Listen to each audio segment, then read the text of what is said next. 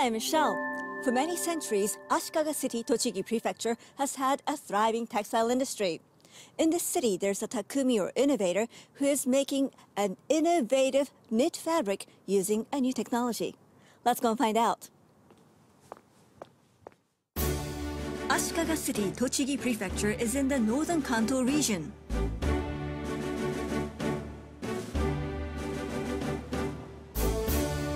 Hello, I'm Michelle. Hello, I'm Hiroki Sato. Today's Takumi or innovator is Hiroki Sato. He developed a very special fabric.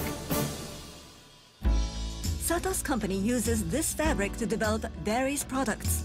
But by the looks of it, it seems pretty ordinary. I think you would understand it better if you tried it for yourself. Do you mind putting your arm in? Wow, it's really cool inside. That's right. How is this possible? It's made with a special kind of thread. Let me show it to you. We were shown the special thread.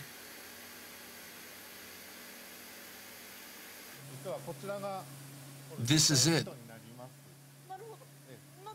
It looks like ordinary thread. It does. But this one thread is actually made up of 110 threads.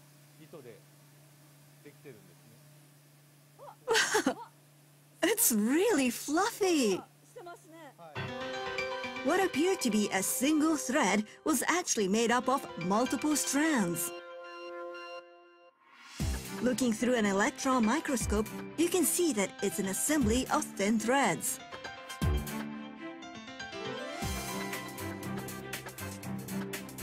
Why was it necessary to make it into a thread like this? We asked Takaaki Nishimura, an associate developer of the thread. Assembling many threads together increases the contact surface. It's made to quickly absorb heat and release it. Development took five years. They experimented with various number combinations and thickness options before arriving at the optimal 110. We tried different numbers, but 110 threads was the softest and immediately felt cool to the touch.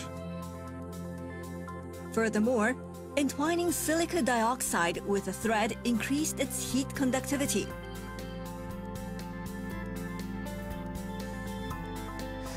This is how they completed a thread that feels cold when touched.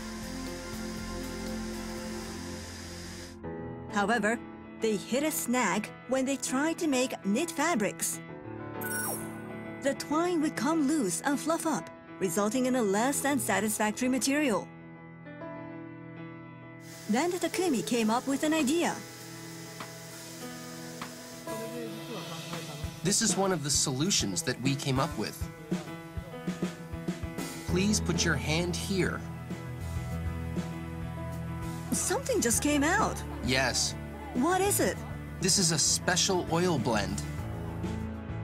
By spraying the special oil onto the thread before the knitting process. The Takumi succeeded in preventing the thread from fluffing up. With this problem solved, the Takumi hoped to begin making products. But a new problem arose in the finishing stage. The hot air used to smooth out the wrinkles after the dyeing process caused the threads to melt. This made it unfit as a product. The temperature of the hot air differed slightly depending on the season and weather. This caused the polyethylene fabric, which was easily affected by these changes, to melt. It took over a year to calculate the ideal wind temperature.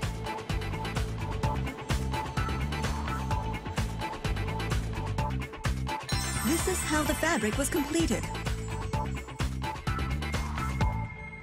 Here's the finished fabric. Let's see what it's like.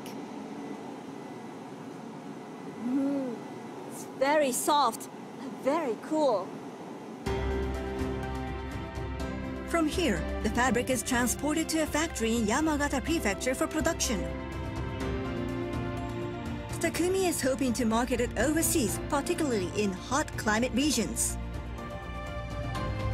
I'm hoping that people in hot regions will use bed linens and towels made with our fabric, and that it will contribute to global warming prevention.